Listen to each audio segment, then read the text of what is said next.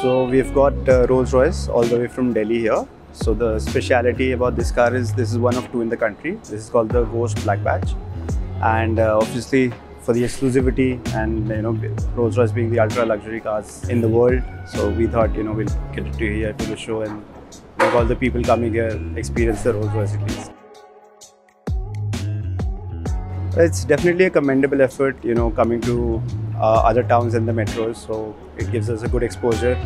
Also, I think vice versa, people also excited to see the cars. So it's a good synergy between the two.